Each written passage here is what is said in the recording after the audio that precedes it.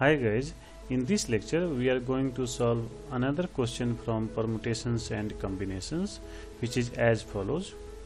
There are four balls of different colors and four boxes of colors same as those of the balls.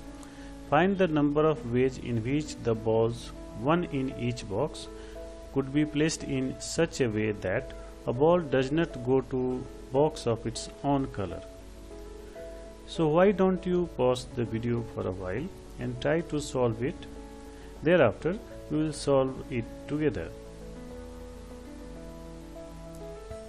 Welcome back again.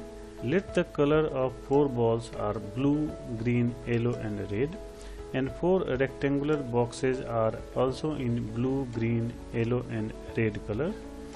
Knowing the fact that a ball does not go to box of its own color, choose any ball out of four balls then it can be put in different colored boxes in three ways. Let us choose blue colored ball then it can be placed in different colored boxes in three ways. Put it in green colored box let us choose now green color ball. It can be placed in different color boxes in three ways. Let us put it in blue colored box. Now we are left with yellow and red colored balls.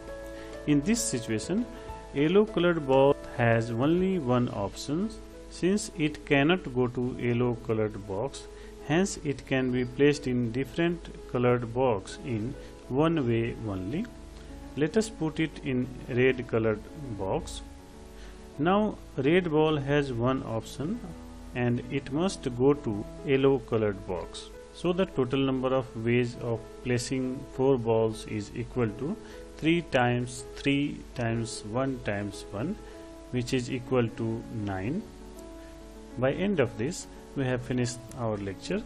To get video solution to IIT JEE previous year's questions subscribe to our YouTube channel NumberX and hit the like button thanks for watching. Till then goodbye